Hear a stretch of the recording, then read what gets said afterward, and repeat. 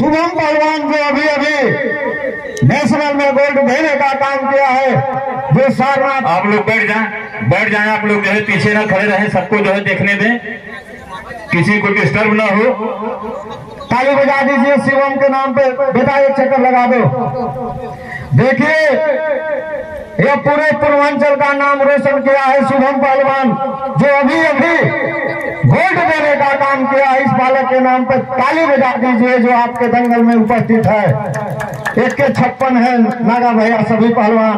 नागा भैया इस पहलवानों को देख के खुश है। आज का ऐतिहासिक दंगल। शुभम पहलवान झंडे के पास आ जाए। शुभम पहलवान झंडे के पास आ जाए। शुभम पहलवान।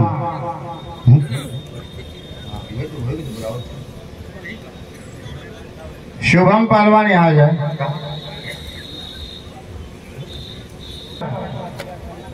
हाथ उठाओ। ये है शुभम पहलवान अपने जोड़ का बेजोड़ पहलवान। यहाँ इतने पहलवान आए हैं, इसके जोड़ वज़न उम्र में जिसके कड़ाई में ज़ोर हो, जिसके बाजुओं में दम हो, इसकी कड़ाइयों की ताकत को आजमा सकता है और वही आएगा जो देसी की खाता हो, डालडा के करीब न जाता हो। चले मैदान जंग में।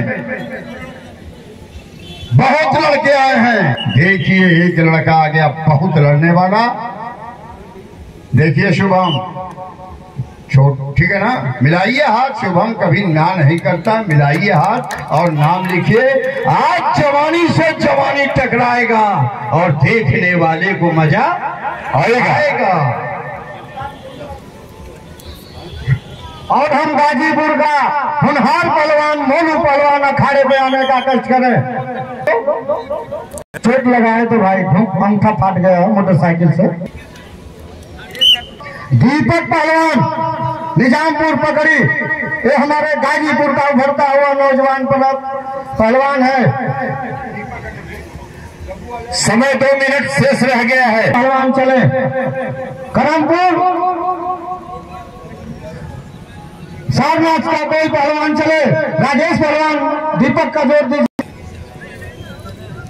करमपुर चले। चाहे अजगरा चले, चाहे मऊ चले। रह गया है। देखिए यह बड़ी जोरदार कुश्ती हो रही है। खड़े से पहलवान जोगा का पहलवान जो स्वर्गीय मंगला राय की धरती है, और दूसरी करमपुर की धरती, स्वर्गीय काशी पहलवान की धरती है। किससे? अशोक पहलवान, इधर आइए अशोक पहलवान। अजगरा इधर आओ। यहाँ सब कुश्ती को परखने वाले कम से कम उस्ताद खलीफा बैठे हैं। दीपक बलवानी दीपक इधर आओ।